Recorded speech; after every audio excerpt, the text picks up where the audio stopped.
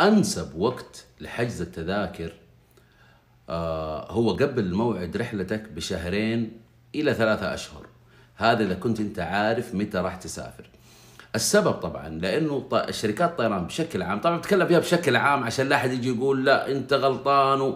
بشكل عام مثال الطائرة فيها 100 مقعد يحددوا أول 20 حجز أو أول 15 حجز بسعر مخفض بعد كذا يزيد السعر لثاني 20 30 حجز بعدين يزيد السعر وهكذا إلى أن تمتلئ الطائرة. طبعا لما كل ما قربت مدة رحلتك كل ما كان في standard price للتذكرة.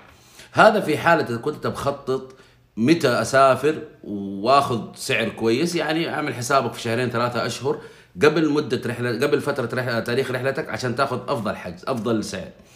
ولكن نقول إنك أنت يعني تبغى تخطط بس تبغى تكلفة قليلة يعني في الشتاء في رحلات الشتاء والأوقات اللي ما فيها أعياد أو إجازات أسعار التذاكر تكون جدا منخفضة والسفر لأي مكان. دائما الشركات يعملوا العروض في هذه الفترات تعتبر الفترة الميتة.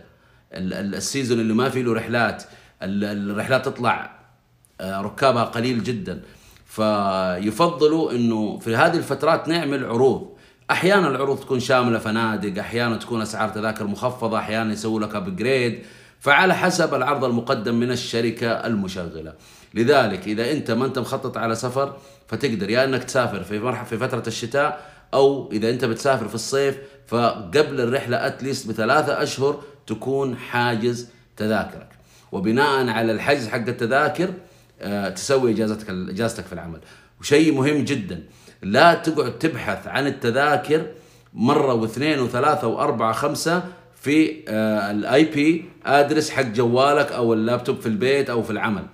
حاول تستخدم جهاز آخر جدا منفصل لأي لأي شخص آخر قل له بالله يسوي لي search من عندك على مثلا رحلات القاهرة رحلات دبي. أبغى أشوف كم الأسعار بعد شهر بعد بكرة بعد بكرة.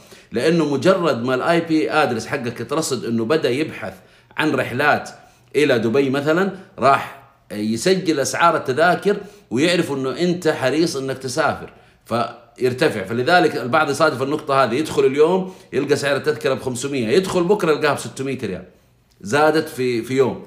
طبعا هو ما زاد في يوم هو بس رصد إن أنت تبغى تسافر. فرفع عليك السعر. ال- النقطة الثانية المهمة جدا احرصوا من المواقع اللي تحجز لكم التذاكر. في مواقع كثير يديك البعض يعطيك السعر الأساسي بدون ما يعطيك المترتبات عليه. توصل النهاية تلقى السعر جدا عالي. في هذه الأيام أنصحكم بالسفر مع شركات مباشرة. الحجز عن طريق